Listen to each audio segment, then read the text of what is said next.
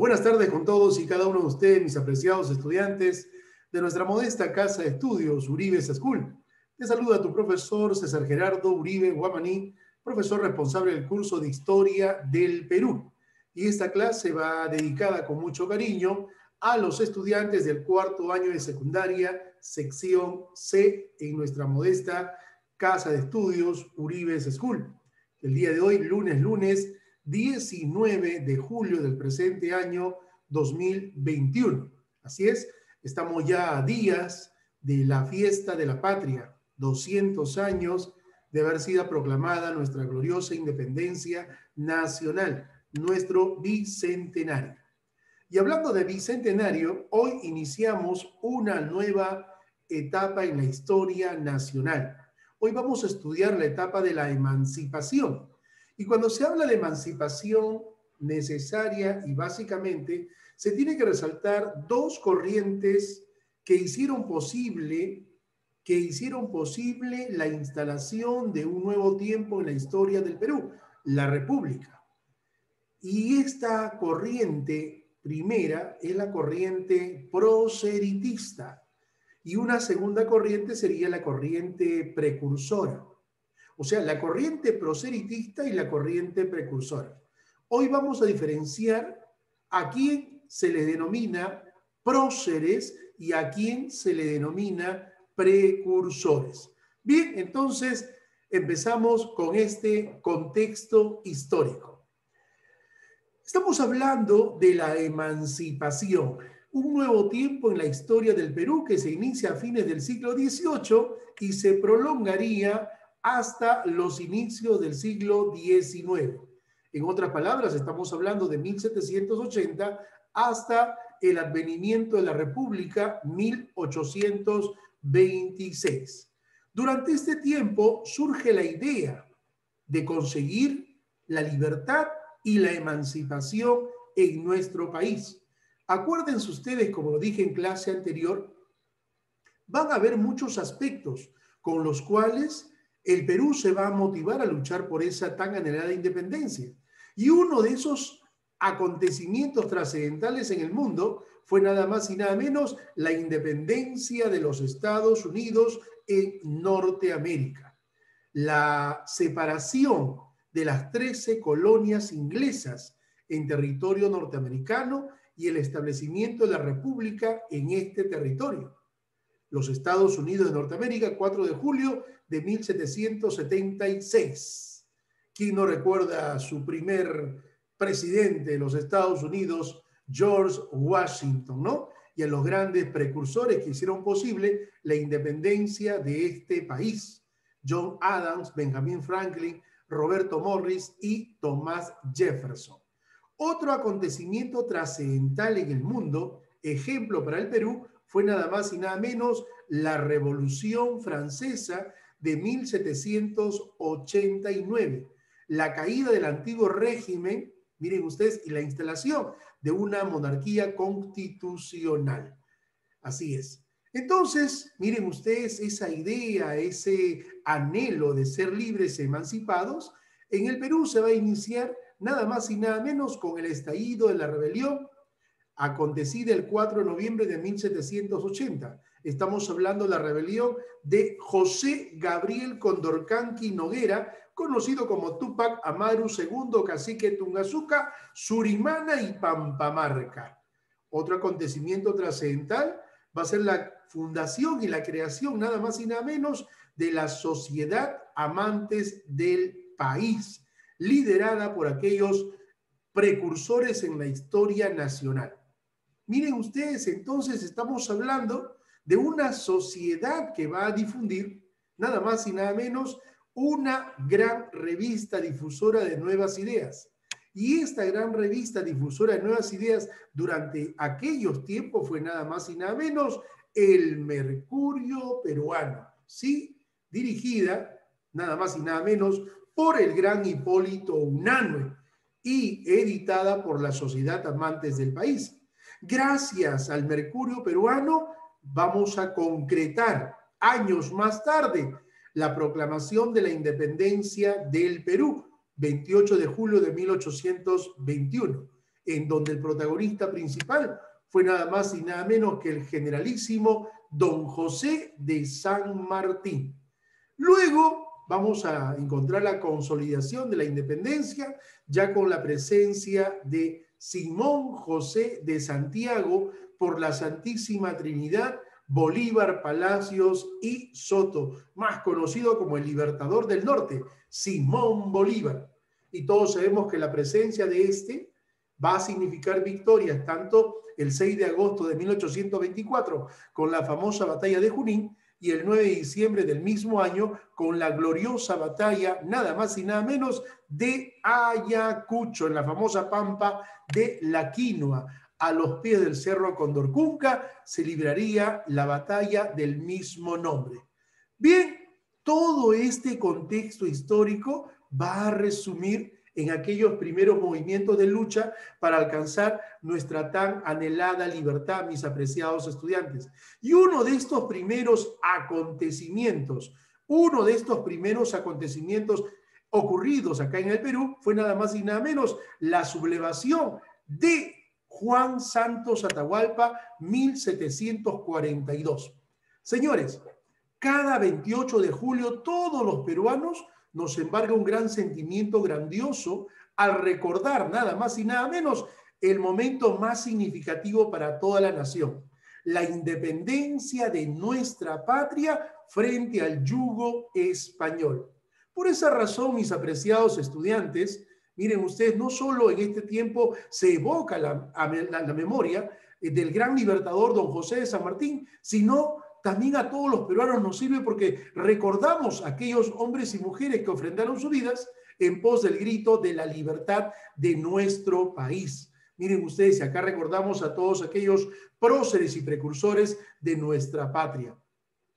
Hoy vamos a definir, te dije hace un instante, qué es o a quién se le denomina próceres.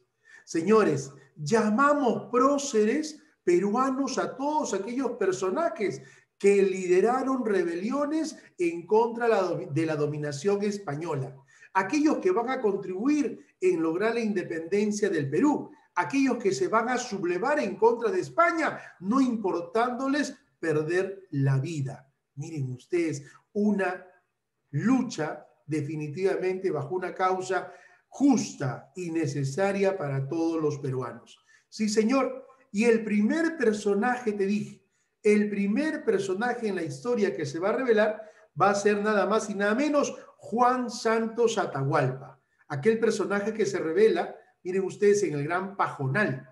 ¿Quién fue Juan Santos Atahualpa? Descendiente de la última nobleza cusqueña que quiso ya en sus manos restablecer el imperio de los incas bajo su poder. Miren ustedes, Juan Santos Atahualpa, mis apreciados estudiantes, anexó categóricamente fuentes, categóricamente anexó grupos humanos de distintos lugares de la Amazonía peruana y con ello se reveló hasta causar grandes dolores de cabeza a la corona española y principalmente al gobierno local. Juan Santos Atahualpa, nacido en 1710, miren ustedes, pierde la vida en 1756 aproximadamente. Este personaje, líder indígena cusqueño, desarrolló una importante rebelión, nada más y nada menos, te dije, en la Amazonía en contra del opresivo sistema colonial. ¿Cuál fue el objetivo de este personaje? Restablecer lo que había sido el Tahuantinsuyo. Miren ustedes, bajo su poder, lamentablemente su rebelión se vino abajo. Pero lo más importante de todo esto es que este señor inicia ese primer movimiento de lucha soñando con la libertad del Perú. Otro personaje bastante significativo en la historia nacional fue el prócer José Gabriel Condorcanqui Noguera, conocido como Tupac Amaru II, cacique Tungazuca, Surimana y Pampamarca. Se reveló un 4 de noviembre de 1780 en Tinta y causó grandes dolores de cabeza al gobierno colonial dirigido por el virrey Agustín de Jauregui y el rey Carlos III. miren ustedes, lamentablemente va a caer. Y al caer la rebelión, cae también conjuntamente este líder caudillo, siendo sentenciado a morir de la peor manera. Primero, presenciando la muerte de sus seres queridos, entre ellas su esposa y sus hijos. Luego, sus colaboradores, y, vamos a llamar así, y colaboradores más cercanos a esta rebelión. José Gabriel Condorcanqui, conocido como Tupac Amaru II, fue aquel líder indígena, miren ustedes, ¿no? Encargado nada más y nada menos de una tarea bastante, vamos a ver así, significativa en la historia.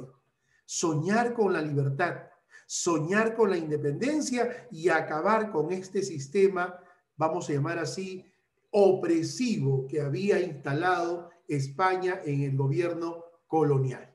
Un 4 de noviembre de 1780 fue o estalla la rebelión de este gran personaje, dándole justicia popular a uno de los corregidores más odiados de la historia, Antonio de Arriaga. Desgraciadamente va a ser tomado prisionero, te dije, luego castigado, torturado y finalmente sentenciado a morir, descuartizado con cuatro caballos, lo que nunca pudieron hacer. Los españoles avergonzados de no poder haberle arrancado las extremidades a este personaje, tuvieron más remedio que descuartizarlo. La cabeza de José Gabriel fue colocada en una lanza y paseada por todo el Cusco, amedrantando a la población para que no haga un acto parecido. Su cuerpo fue arrojado al campo como cosa maldita. Pero como lo dijo el gran José Gabriel Condorcanqui, Tupac Amaru, Cacique Tungazuca, Surimana y Pampamarca, me podrán matar, me podrán descuartizar, pero lo que nunca podrán hacer es acabar con esta idea y esta ideología que ya está sembrada en el territorio peruano.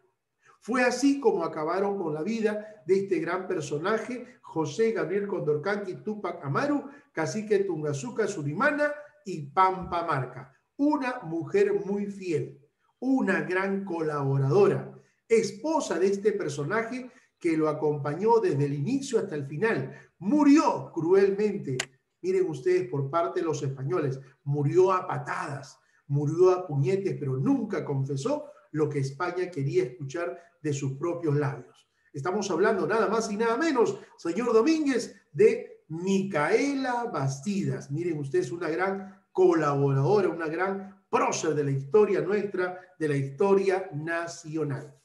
Otro personaje fue nada más y nada menos Francisco Antonio de Sela administrador y militar criollo que lideró una gran rebelión en Tacna en 1811, nada más y nada menos contra el virrey Fernando de Abascal y Sousa. Este personaje ha sido considerado como aquel que dio el primer grito de libertad en el Perú, iniciándose el proceso de lucha para alcanzar nuestra tan anhelada libertad. Francisco Antonio de Sela. Otro personaje importante en la historia fue nada más y nada menos Mateo García Pumacagua, más conocido como Mateo Pumacagua. Este cacique de Chinchero participó, miren ustedes, al lado del gran Tupac Amaru II en su gran rebelión. Miren ustedes, y este señor también se enfrentó nada más y nada menos al poderío de el virrey Fernando de Abascal y Sousa Marqués de la Concordia. Otra mujer heroína, prócer de la independencia nuestra, fue nada más y nada menos María Parado de Bellido, mujer quechua hablante que trabajaba en la sección de correos. Esta mujer cumplía la función de enviar información a los patriotas sobre aquellos movimientos de los realistas. Lamentablemente fue tomada prisionero, torturada y sentenciada a morir. Pero ella dijo antes de morir, lo haría una y mil veces por mi patria. Miren ustedes, María Parado de Bellido. Y otro gran personaje fue nada más y nada menos este chorrillano de nacimiento. Estamos hablando de José Olaya Balandra, personaje con grandes cualidades en el mar, nadador por excelencia, nadaba desde el Callao hasta Chorrillos. Este personaje también se encargaba de llevar, miren ustedes, correspondencia a los patriotas sobre el avance, nada más y nada menos de los realistas lamentablemente fue capturado y torturado por su verdugo, nada más y nada menos, este personaje que ordenó primero azotarlo, castigarlo, estamos hablando de Ramón Rodil. Miren ustedes, ¿qué es lo que quería Ramón Rodil? Escuchar la confesión de este personaje y sabían quiénes más conspiraban en la lucha por la independencia del Perú. Pero no confesó, no logró su objetivo de escuchar en versión quiénes eran los colaboradores. Ordenaron azotarlo y lo azotaron. No confesó, ordenaron arrancarle uña por uña y no confesó. Ordenaron azotarlo y luego finalmente fusilarlo, señores. Y antes de morir, este personaje, José Olaya Balandra, expresó a viva voz aquellas palabras que han quedado grabadas en nuestra mente y nuestros corazones y hoy son orgullo de los anales de la historia del Perú. Estamos hablando, si mil vidas tuviera, gustosa las daría por mi patria, pero nunca la traicionaría. Miren ustedes, y así digna y heroicamente fue fusilado este personaje, José Olaya Balandra, un gran prócer de la historia nuestra, de la historia nacional. José Olaya Balandra fue fusilado el 29 de junio de 1823. Bien, mis apreciados estudiantes, ahora pasamos al grupo de ideólogos de la independencia nuestra. Aquellos que lucharon, sí, pero con ideas. Aquellos que lucharon, sí, con ideología, no con armas aquellos que indirectamente motivaron a otros para que puedan actuar en forma directa. Estos personajes fueron nada más y nada menos los precursores. Y acá tengo que resaltar a dos grandes grupos, los llamados precursores reformistas y los llamados precursores separatistas. Pero ¿a quién se le considera, mi estimado Arnold? Arnold Cruz, a quién se le considera precursor. Se llama precursor a toda aquella persona que profesa o enseña doctrinas. Es decir, adelanta, miren ustedes, a preparar un acontecimiento o también un hecho en base a sus ideales y pensamiento. Este personaje llamado precursor no participa directamente en las actividades, sino sus ideas son llevadas a cabo por otros individuos. Estamos hablando de los precursores. En otras palabras, miren ustedes, como dice el profesor César Gerardo Uribe Guamaní, se llama precursor a todos aquellos hombres que lucharon, tanto en el Perú como América, a través de ideas, a través del pensamiento, una de las mejores armas que ha tenido la independencia del Perú. Y hubieron dos tipos de precursores, los precursores separatistas y los precursores reformistas. ¿A quién se les llama precursores reformistas, Oscar Emilio? Se les llama precursores reformistas a todos aquellos hombres criollos, peruanos y americanos que querían cambios, que querían nuevas reformas en la historia colonial aquellos en donde había maltrato, que se instale un buen trato. Estos eran los precursores reformistas, aquellos que solicitaban introducir nuevas reformas en defensa de los derechos de la persona. Y el otro grupo fue el grupo de los precursores separatistas. Estos no querían cambios, estos querían definitiva y categóricamente la separación, la ruptura de ese cordón umbilical que nos unía con la madre patria España. Estos fueron los precursores separatistas. Y hoy les voy a presentar a estos. Tenemos al gran Juan Pablo Vizcardo Guzmán, tenemos al gran Toribio Rodríguez de Mendoza, tenemos ahí a José Baquijano y Carrillo, miren ustedes, tenemos al gran Hipólito Unanue, tenemos a José Faustino Sánchez Carrión y tenemos nada más y nada menos, miren ustedes, mis apreciados estudiantes, a Francisco Javier Mariátegui, entre otros. Ahí está, el primer ideólogo de toda América del Sur. Estamos hablando de Juan Pablo Vizcardo y Guzmán, arequipeño de nacimiento, nacido en 1748 fue aquel personaje precursor separatista que incitó a América y al Perú a luchar por su libertad. Fue autor nada más y nada menos de la gran obra Carta a los Españoles Americanos, escrita en 1792. No se sabe si fue en Francia, no se sabe si fue en Italia, pero lo que sí se sabe, dónde escribió esta gran obra de Vizcardo, lo que sí se sabe es que se escribe en francés. Originalmente se escribe en francés. ¿Por qué razón no la escribió en el Perú? Porque su cabeza tenía precio. Era perseguido político, era perseguido por la corona española, por esa razón se fugó a la clandestinidad y en la clandestinidad escribe esta carta a los españoles americanos que fue escrita originalmente en francés y luego de su muerte su gran amigo Francisco de Miranda la traduce al castellano y la va a divulgar por todo el continente americano. Juan Pablo, Vizcardo y Guzmán. Otro precursor, miren ustedes, fue nada más y nada menos el gran maestro de maestros, el maestro de próceres y precursores. Estamos hablando de quién? Del sacerdote Toribio Rodríguez de Mendoza, sacerdote y catedrático limeño, miembro de la Sociedad Amantes del País y rector del Gran Convictorio de San Carlos. Sí, señor. Este personaje está considerado como el educador más genuino de la historia colonial. Toribio Rodríguez de Mendoza. José Baquijano y Carrillo, doctor en leyes, abogado, catedrático, político, graduado en la Universidad Mayor de San Marcos, miembro de la Sociedad de Amantes del País y colaborador de la gran revista El Mercurio Peruano. Fue aquel personaje que dio el famoso discurso o elogio al virrey Jauregui, que en lugar de aplaudirlo, halagarlo, resaltarlo, criticó el abusivo sistema español y ese discurso y ese elogio pasó a los anales de la historia nuestra, de la historia nacional hasta el día de hoy. Otro gran personaje, precursor reformista, fue nada más y nada menos el gran Hipólito Unanue.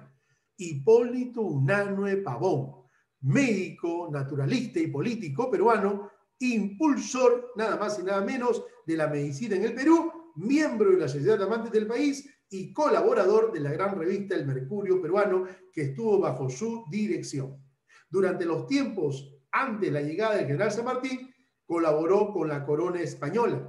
Ya con la presencia del general San Martín y dentro del protectorado se convierte en su ministro de Hacienda, el gran Hipólito Unanue. José Faustino Sánchez Carrión, otro gran político peruano, fue diputado de los departamentos de Puno y Libertad catedrático, miren ustedes, del Real Convictorio de San Carlos y fue ministro plenipotenciario de Relaciones Exteriores. Ocupó una gran cartera y fue uno de los personajes que luchó también ideológicamente por la independencia del Perú, al igual que Francisco Javier Mariate, abogado y político peruano, partidario del separatismo de España. No, tenemos que divorciarnos de España, tenemos que separarnos de España. Ya no queremos más tratos buenos. Ya no queremos tratos o compromisos, queremos el divorcio y la ruptura definitiva con el yugo español. Uno de los precursores fue nada más y nada menos de este pensamiento, Francisco Javier Mariate. Así es, mis apreciados estudiantes, y acá tenemos práctica calificada. Usted va a leer detenidamente, va a analizar cada pregunta y luego estará contestando en la siguiente hora, en el siguiente bloque, lo que tu profesor César Gerardo Uribe Guamaní ha programado para esta calificación.